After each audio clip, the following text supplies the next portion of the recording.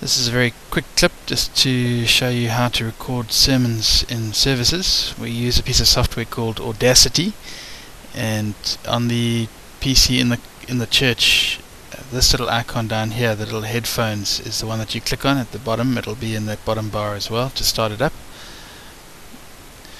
And very simply to record what's coming through the PA system all you do is push that red button there, the record button, and that'll start recording. At the moment it's recording my voice, uh, so you see we can make it go still for a moment. And then when I speak again you'll see the, the sound coming through. On the recording in the church, the, the lines might not be quite this dramatic when when voice is being recorded, but that's alright. It records all the data and we can amplify it later but the key is simply to push that start button there.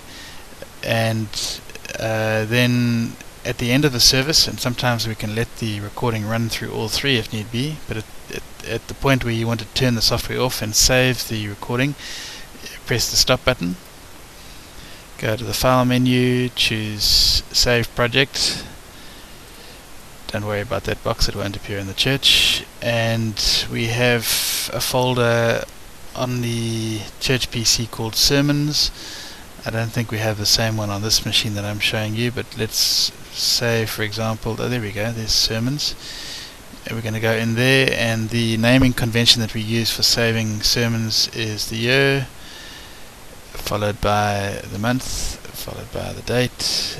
Uh, let's go with the 19th.